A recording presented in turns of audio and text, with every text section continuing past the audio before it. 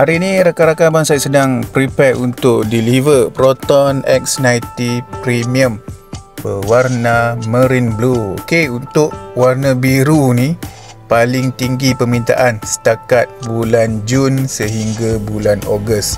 Untuk mereka customer-customer yang booking warna biru untuk premium dan flagship dijangka akan lambat dapat. Ha, nak cepat sikit dapat ambil warna lain.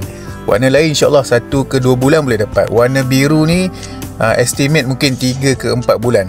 Uh, mungkin sebab warna ni nampak lebih ganas kot. Eh? Biru gelap-gelap macam ni kan. Dia tak sama macam X50 tau.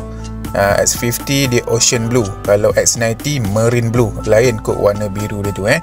So ini untuk Proton S90 Premium. Perbezaan untuk empat pilihan spek Proton S90, S90 Standard, Executive, Premium dan juga Flagship boleh lihat di paparan skrin.